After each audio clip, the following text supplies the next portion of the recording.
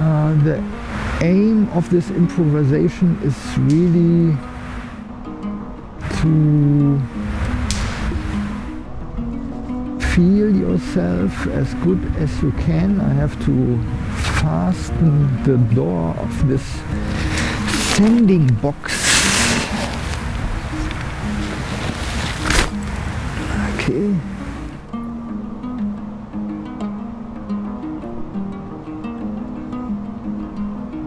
It's really hard to explain because it's one of those themes which might be obvious when you are coming in your own development to this understanding. It's really hard to point towards it. You know? Maybe you know that your perception is imprinted by your own wanting, your needs, of course, and your wanting, and those aspects which you don't like to hear, they are quieted. You know? And that's just one just one of these cognitive uh, distortions. And you know, in the Buddhist path, you know, there's greed, hatred, and delusion. These are obvious cognitive distortions, and uh, there are the five hindrances. The, this is really part of your meditation practice. You know, it's not just uh, spacing out or something. It's one participant mentioned it's like a therapy. Yes, it is. But it's not some kind of self-improvement. You know, there's nothing to achieve. But when you're coming through a whole bunch of cognitive distortions, you can imagine this is a more realistic view. Know, that's maybe understandable. And when you're coming to this more realistic view of your bodily perceptions, know, you are coming to another view angle, to a new viewpoint about yourself, and then uh, you're coming, uh, you're becoming more, uh, you are switching from this attraction, you know, dancing stuff. You can do it.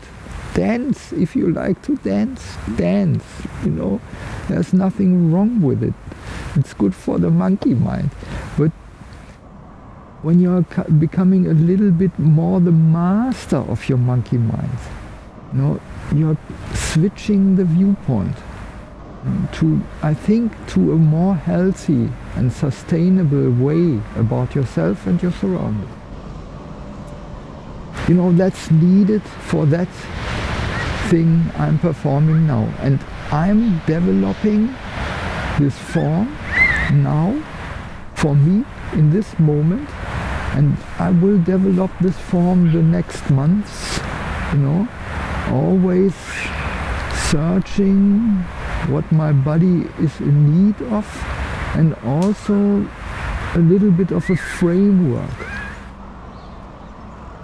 You know I, I began with a breathing flower you know and but I liked the first part coming down and I liked to adapt the directions because this is very important for the uh, relation of your limbs in the room.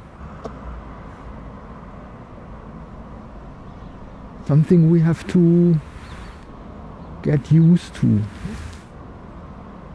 So it is changing, but it's coming to something like a form.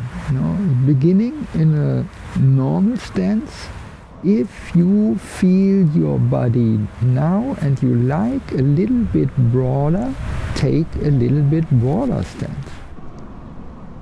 The first is coming to the back, rubbing the back sides of your legs around the feet and in the insides of your legs up. And then breathing in a little bit to the ground. Moving the inner the palms of your hands to the outside. And relax. You can play around going out that's becoming stiff. So relax your shoulders you relax your elbows. A little tension a little tension just by coming up with your hands.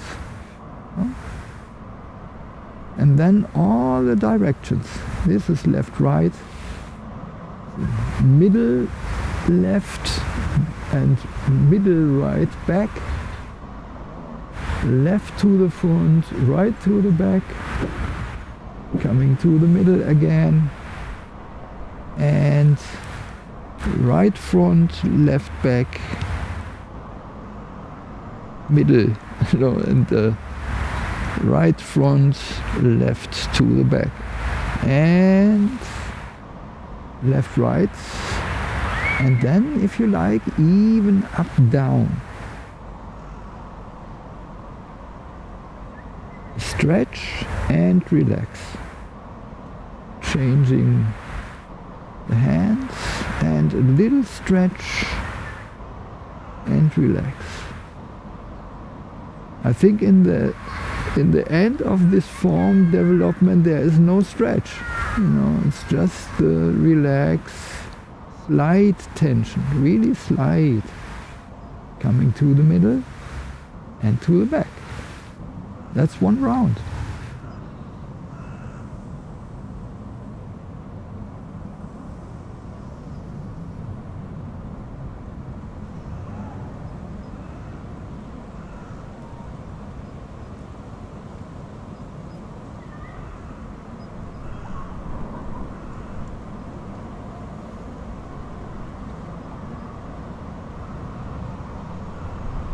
And take care of your hip.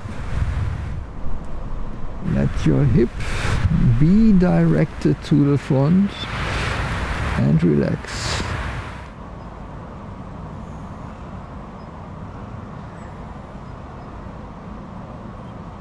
And now the left up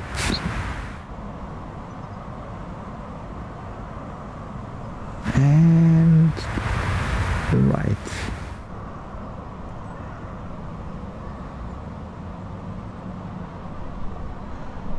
Yes. One more time, one last time.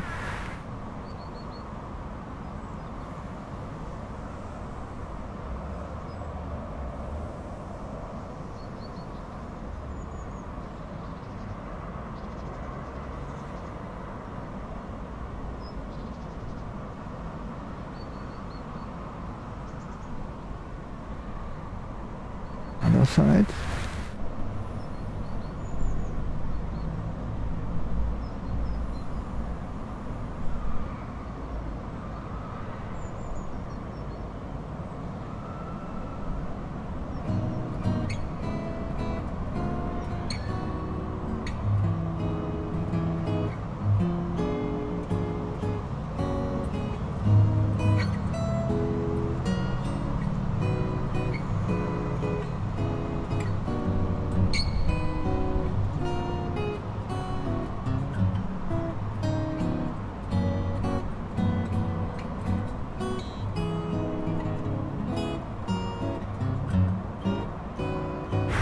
It's already finished. you know, I really have to play around a little bit more with it, but it felt right.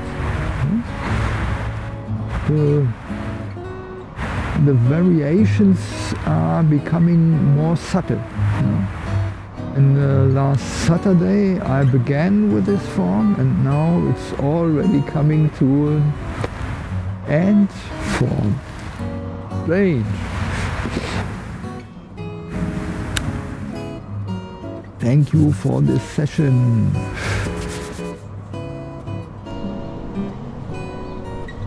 If you like, develop your inner smile. That's the,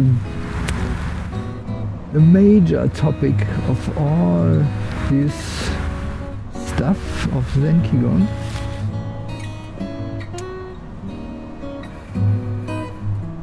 Have a nice day, week, until next time.